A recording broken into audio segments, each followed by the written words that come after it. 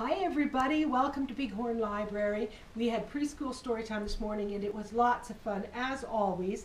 The story we chose is called Ooko by a Canadian author, Esme Shapiro.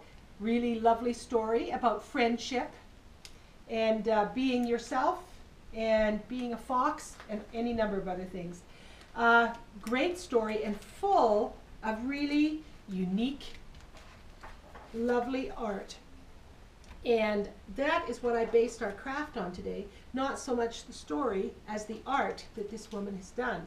I went into the back of the book and I took a photocopy of the art on the end paper because it's a lovely example of how she does her plant work. And then we did a craft.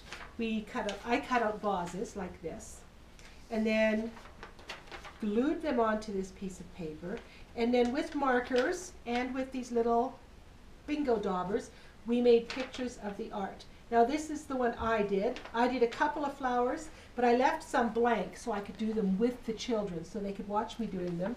And we went on to the piece of paper and I said, see that flower? That flower right there is the one I'm going to make. And I added it in. And the kids were quite delightful. Now, I'm rather pleased with how mine turned out. And the, I've got a couple left over here from kids doing their own.